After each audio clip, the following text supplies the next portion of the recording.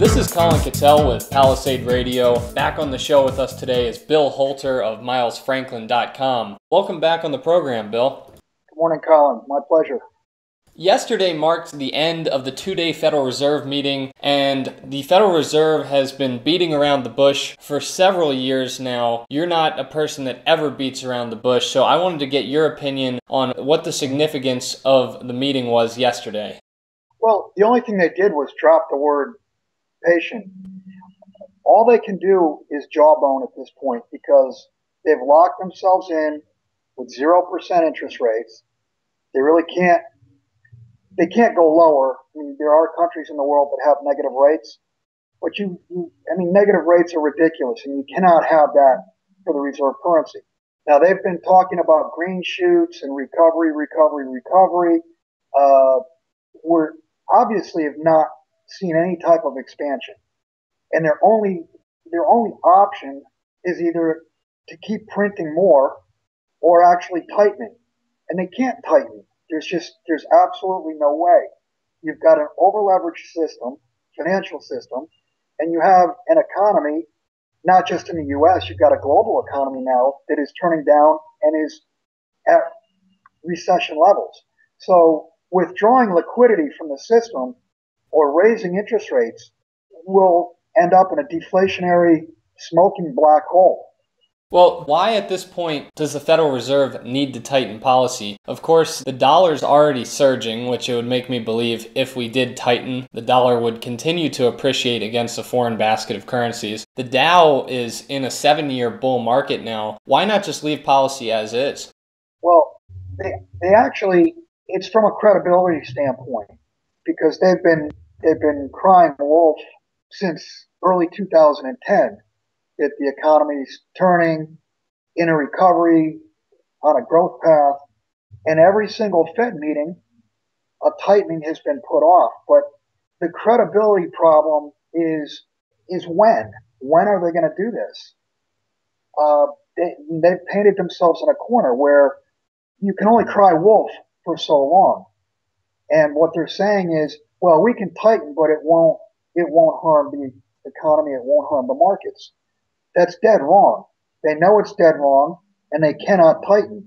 I'm going to say that the Fed's next major program or, or change is going to be QE4. It's not going to be a tightening. They may tighten one time, but within two weeks, you're going to see the markets implode. Yeah, and I think that the markets acted very interestingly yesterday before the announcement of the Fed meeting. The market was tanking, and then all of a sudden the market shot up. And I guess that reflected the fact that the Federal Reserve still did not give the market an answer as to when the tightening is going to happen. That's correct. And if you watched afterwards, Yellen was was if you want to call it hinting at September rather than June. So they kicked the can another three months. And now I saw that you predicted in an article that you wrote in the last couple days that there will indeed be a QE4. This is something that a lot of people have been saying for a while. Do you have any indication or thought as to how long it's going to take before this could start up? Or is it going to be in response to an emergency situation that they trip off? It's always a response. Every, every QE was a response to the markets. If you go back and look at a chart and the timeline on the charts of of the stock markets. Uh, every QE was kicked off as the markets were rolling over. I want to touch on gold real quick. We have a big topic to talk about near the end of the interview, but there's been gold bull rallies that have tried to start. And every time that they've started to get going, the Dow and the general equities have charged forward. And I think that that has taken, taken the fuel away from that bull market in gold. Do you think that we need to have stock market weakness, the Dow needs to fall off or the dollar needs to fall off before gold can re enter this bull market in earnest? Uh, I don't think you're going to see a a bull market in earnest. I, I really think that you're going to see something akin to a light switch being flipped on or off. And I think that switch basically is gold supply. I think this, I think gold will be marked up and the system will, the financial system will go into a, into a seizure once China is not delivered on. China has taken up 80 to 90% of global production it has to be coming from somewhere. And that somewhere is not a bottomless pit. Now, when that when the gold runs out and the Chinese are not delivered upon and they cannot exchange dollars for gold, that's it. That's your light switch. And so, an example scenario of that from the public point of view might be waking up one day and China announcing that they've ended up accumulating 10,000 tons of gold. Is that kind of the idea you have in mind? Well, you may see a few days of 50 or $100 moves upward, and then all of a sudden China comes out. Uh, they may or may not say that we've not been delivered on, but I I think they could step up and they could, I mean, pick a number. They could use 2,500, 4,000, 10,000, who knows? But they could step up and say, we will, we bid $4,000 an ounce for any and all gold anyone wants to sell. Now, what's the price of gold? What's the new price of gold? It's $4,000. It doesn't matter what COMEX Fantasyland says it is. The price of gold basically will be what the Chinese say it is. On the topic of China, there's a very big piece of news that you've been talking about, but of course the Western media has not, and that's called the China led Asian Infrastructure Investment Bank, which we can call AIIB. And the big news is that on March 12th, Britain announced it had submitted an application to become a founding member of this bank. They're also joining France, Germany, and Italy. There's a couple curious points about this. One is that China had dictated that this was only for regional Eastern members at first, but it makes sense for them to probably accept somebody like Britain into the bank. The second interesting thing is that the United States has been expending considerable resources lobbying Australia, South Korea, and Britain not to join the bank. So, what's this bank all about, and what do you think the implications are? Well, the implications are our allies are, are switching teams, if you want to say. Uh, they're they're jumping on board with the winner. Australia did uh, has applied, by the way, so they they have also joined in.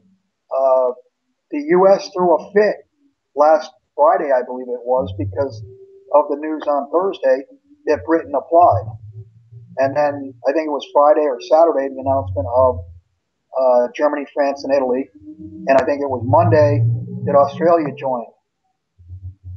This is basically uh, a competitor to the World Bank, which is, of course, uh, if you want to call it a minion of the U.S. I mean, the U.S.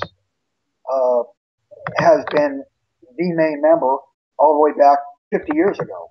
So these countries joining into a, a an Asian but Chinese-led bank is a slap in the face to the U.S. and it is certainly a departure and will undermine the power of the World Bank.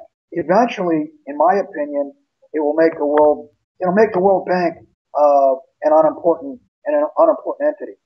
This represents almost a paradigm shift if it's effective because the United States, as you mentioned, has use the World Bank as a tool to control countries around the world. There's no better way to control a country than providing them an amount of debt they can never repay, right? So if China is successful in this, it could lend a lot of power to the East. I know that there's been a couple other developments I believe you've written about. One of them being the new standard that's going to compete with SWIFT, the SWIFT banking system. Russia has a system there that they're joining along with China. What's going on on that end?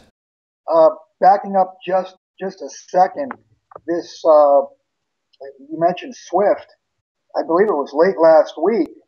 The U.S. had been lobbying to kick Russia out of the SWIFT system, and they had a vote, and SWIFT actually gave Russia a seat, one of their 25 board member seats. So not only did they not get kicked out, they have a they have a seat on the board now. Uh, the biggest thing to all of this, to the AIIB bank, this new SWIFT system. The key is they're not going to be using dollars. Anybody who reads your work knows your philosophy, your, your investment philosophy. But for our listeners, you're painting a pretty dire situation. There could very literally be a light switch situation. And you've said in the past either you're in the trade or you're not, because once you wake up and prices have changed dramatically, it's too late. You can't call your broker, you can't get a hold of that gold. What are you doing to protect yourself? Are you 100% behind gold, and how are you allocating yourself?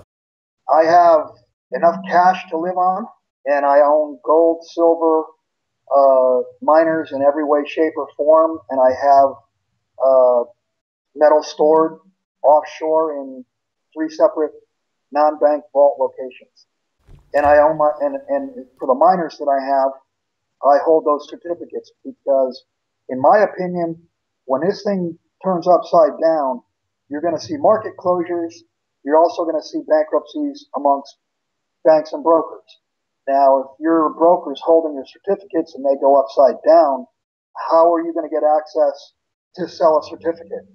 Right, so you've taken everything into your control. You've diversified yourself internationally with your gold storage. I'm sure you're probably protected on the home front as well, but we can keep that private. I have lead for that. Good.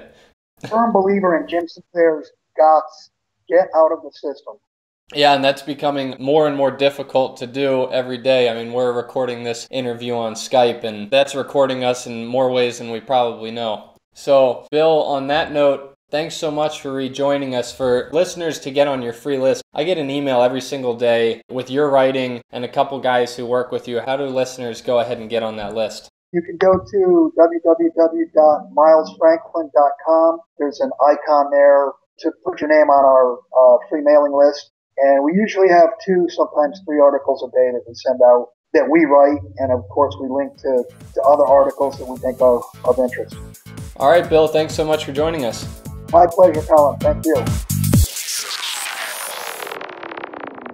I think you understand the junior mining sector and you think that the participants in the mining sector, junior mining sector, are good people and kind people, hit the bid. And the world is always going to need raw materials. It's going to need copper and gold and nickel and so forth. Totally destabilized. Hey, hey, troll, did you hear what's going on in Yemen? Are you too stupid?